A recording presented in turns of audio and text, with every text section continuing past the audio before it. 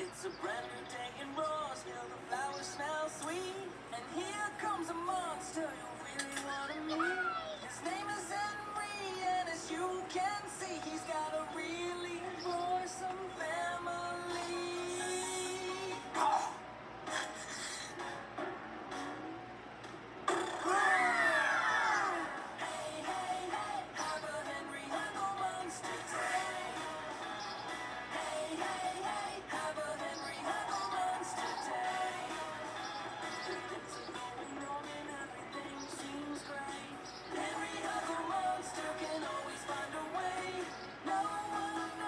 but today will